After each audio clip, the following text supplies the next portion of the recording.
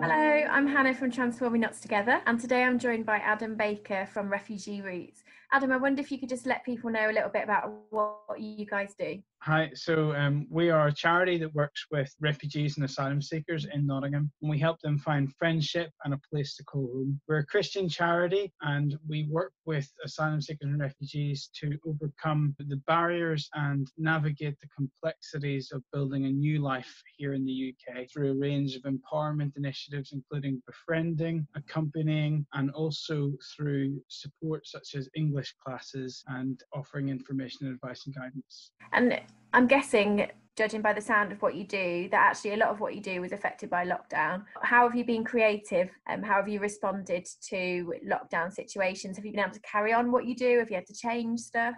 We've had to change a fair amount of what we've done. We love to get people together in groups, mm. and that's a big part of the way that we work.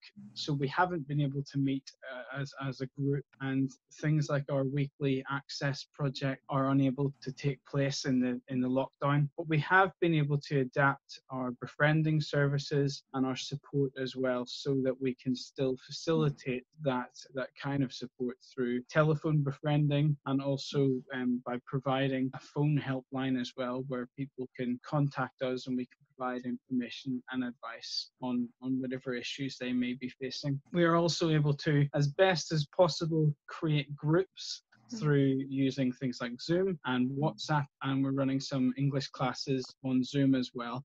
Hmm. Um, and that's been that's been really great. Hmm. Unfortunately, it's only the those who have um, the means of obtaining internet or have money enough money to pay for mobile data that can join those sessions, which is why we've offered telephone English lessons as well to those who don't have internet access and we've worked closely with food banks and with Sharewear clothing scheme to mm-hmm. make sure that people's basic needs are met as well. So we've continued to provide that that support as well. Again not like before, not through our drop in where people can come and help themselves to items that we make available at our projects, but through the support of local food banks and volunteers, the local authorities, uh, whoever is able to deliver things to our participants, we've been able to make sure that people's needs are met. that's on my mind a lot at the moment is what next? As lockdown restrictions ease, um, we hear that needs are going to go up. What are have you got plans? What are you thinking? What's what next for um, Refugee Roots? It's very very hard to plan for what we don't know yet. Mm.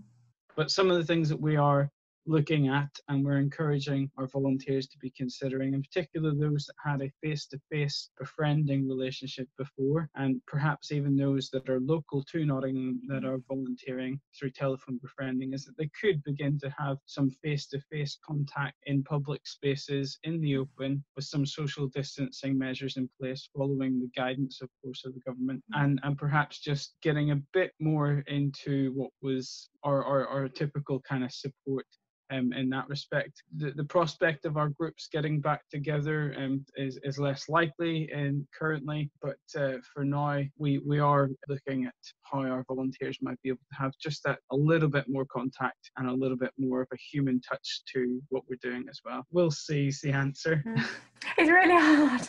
it is hard it is hard, but we'll continue we'll continue working with local charities and partners as well, especially with the, the need for things like food and clothing where if we we were only relying on our volunteers, which we've, we've got plenty of volunteers, it's really great that lots of people have at this time mm. signed up to volunteer because they've got more free time or they, they feel they just want to do something given the crisis. Without the support of other groups and organizations, those deliveries would be less possible and the amount of requests that we're getting for things like food and and for clothing have increased.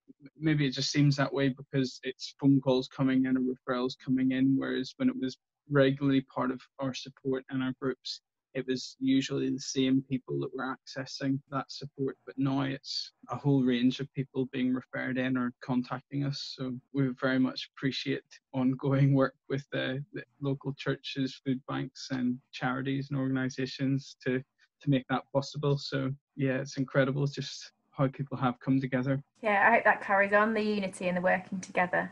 Have you got a story, one particular story that you could share with us? Um, yeah, I definitely do. I've got a story of a young man who we were we started supporting just before lockdown, and we matched him with a an English teacher, um, telephone kind of relationship.